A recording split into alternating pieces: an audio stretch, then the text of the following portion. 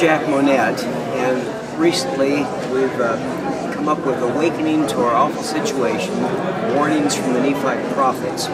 It's a book that was originally written in 2007, and it was written responding to President Hinckley's uh, admonition to members of the church to read the Book of Mormon. If you recall that in 2005, he asked all of us to read the Book of Mormon. Most people did.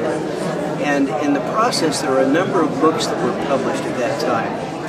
Uh, they were mostly on things like geography, uh, some on doctrine, but nothing really treated the warnings in the Book of Mormon to our generation. And so this book uh, was written in 2006, published in 2007, and it contains the warnings that are there. It takes the writings of J. Reuben Clark Jr., of uh, David O. McKay, of uh, Ezra Taft Benson, Cleon Skousen, and others, and it looks at how they have interpreted and how we interpret today the the meanings of the, the Book of Mormon warnings for you and I. That book was sold out. Uh, there were originally 10,000 copies that were printed. It was sold out in uh, after the first year and people had asked me to write another one or to write a sequel to that or an updated version. And so I did write a sequel. That was book two, Awakening to Awful Situation, Responding to Satan's War on Agency. This one gets into more history than the other did, and still takes the Book of Mormon as its uh, as its leader there. Um, however, people were still asking for that first edition to be reprinted. And so we've done that. Uh, it will be off the press the first week in August, and that will have the uh, the first, uh, or again, again, be the second edition of that first book. To get an idea of the things that are in there, probably it would be good to read a little bit from the table of contents. And uh, in the table of contents,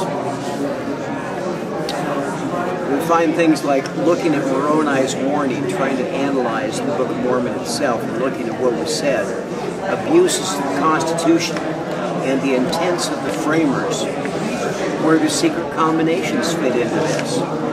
Wars and rumors of wars. of course, people today ask, are all wars patriotic, or do they have another agenda? Uh, toward a one world government the United Nations.